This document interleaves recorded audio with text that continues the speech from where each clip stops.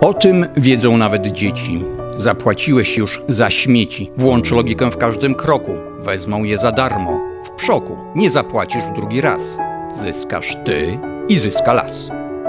Zużyta elektronika. AGD. Sprzęty domowe. Chemikalia. Leki. Baterie. Akumulatory. Opony. Gruz. Szkło. Papier. Popiół.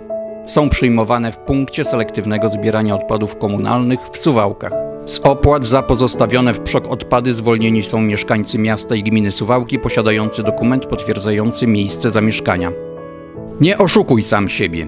Nie płać dwa razy. Wciąż niewiadomą pozostaje, kto będzie zarządzał Suwalskim Ośrodkiem Kultury. Kontrakt z dotychczasową dyrektor Alicją Andrulewicz wygasa z ostatnim dniem października. Wprawdzie ogłoszono drugi z kolei konkurs na dyrektora tej placówki, ale czas na składanie aplikacji kandydaci mają aż do 30 listopada. Tymczasem w ostatnim dniu października kończy się umowa z obecną dyrektorką.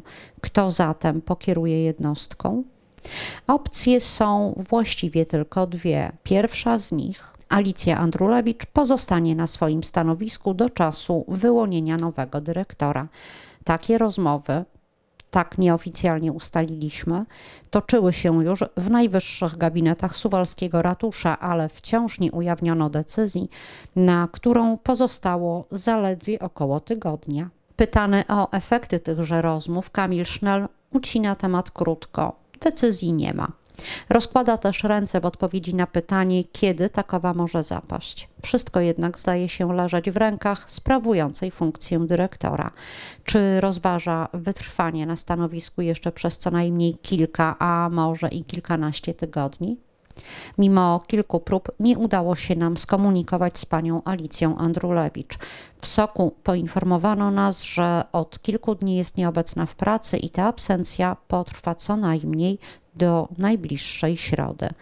Czy prezydent zdecyduje się poczekać do ostatniej chwili? Mało możliwa.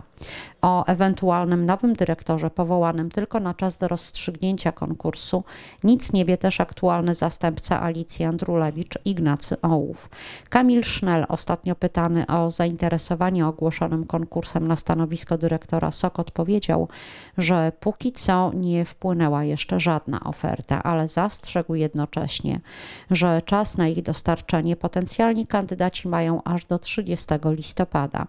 W poprzednim konkursie wyłoniono kandydata na nowego szefa ośrodka, ale zarekomendowany przez komisję kandydat w ostatniej chwili odmówił zawarcia umowy.